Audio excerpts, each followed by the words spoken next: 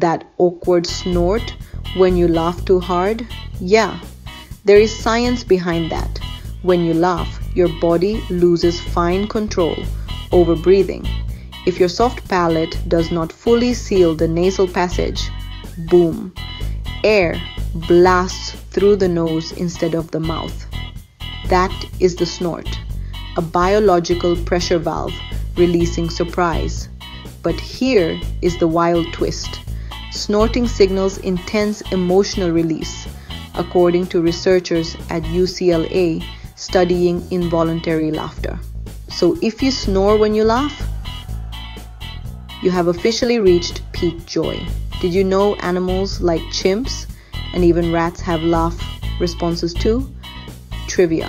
What causes the snore, soft palate, or diaphragm?